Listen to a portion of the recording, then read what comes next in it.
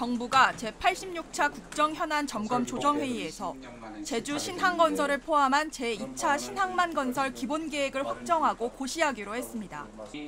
2040년까지 추진하는 정부의 신항 기본계획에 따르면 제주 신항은 동북아 크루즈허브를 목표로 하고 있습니다. 사드 여파로 인해서 어, 좀 줄긴 했습니다만 장기적으로 볼 때는 크루즈 시장으로서는 뭐 제주만한 곳이 없다는 것이 저희들 판단입니다.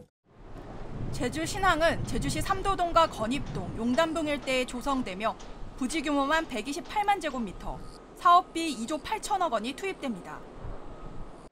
크루즈항은 22만 톤급 선석 1개, 15만 톤급 선석 3개 등 4개 선석이 들어서고 여객선항은 4만 톤급 선석 1개를 비롯한 9개 선석이 조성됩니다. 여기에 방파제 2.8km를 비롯한 외곽시설과 82만 3천 제곱미터 규모 배후 부지 등도 들어서게 됩니다. 4년 전부터 제주 신항 건설 사업을 추진해온 제주도는 제주 신항이 완공되면 연간 400만 명 관광객을 수용할 수 있을 것으로 기대하고 있습니다.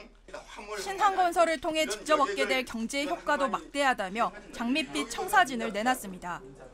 경제적 효과가 전부 11조가 나오는데 거기에 생산 유발 효과가 6조, 부가가치 유발 효과가 4조, 그리고 취업, 고용 창출이 2만 명이 예, 증가된다고 그렇게 제주 신항 건설 사업은 앞으로 예비 타당성 조사와 어업 보상 협의를 거쳐 이르면 2023년 착공될 것으로 보입니다.